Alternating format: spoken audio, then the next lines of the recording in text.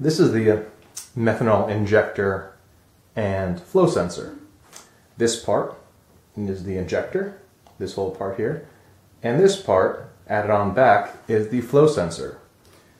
Methanol comes from here, this side, and goes out here to the um, nozzles.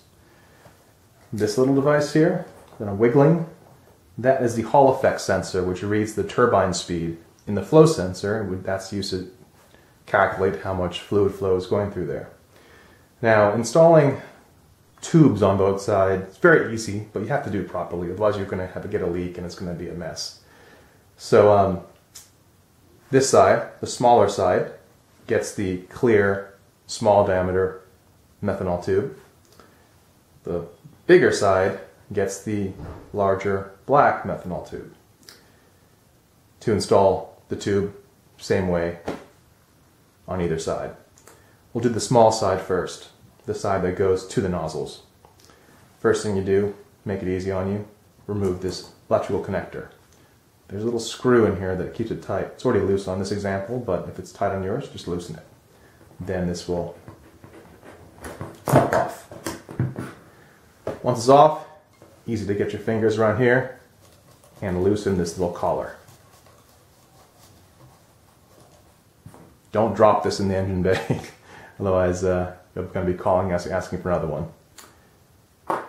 So with that collar off, you'll see a little nipple on there. That's where you get, that's where you push the tube on. Now, here's the tube. What we're going to do, first things first, is we're going to, going to put the collar, small side of the collar, small orifice into the hose, hose into it, like that and just work it on. It takes a little bit of effort to get it all the way. You gotta make sure it's butted all the way against the threaded portion. If it's not butted all the way up against that, it can pop off. With it pushed all the way on, all you gotta do now is just tighten this. Finger tight is perfectly fine and it is simply not coming off. For pressurized fittings, this is the absolute best form of, um, of uh, attaching a hose to a, to a nozzle. Much better than the pushing fittings.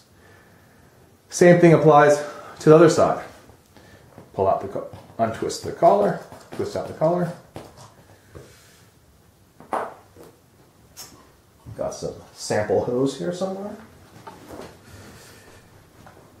Small ID goes like that. This is a pretty tight fit, so you're going to work it a little bit. And you're going to push this on to here, same way.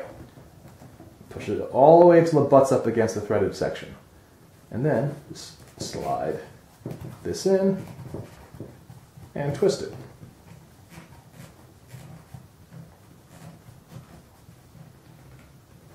And that's it. That it's not going anywhere.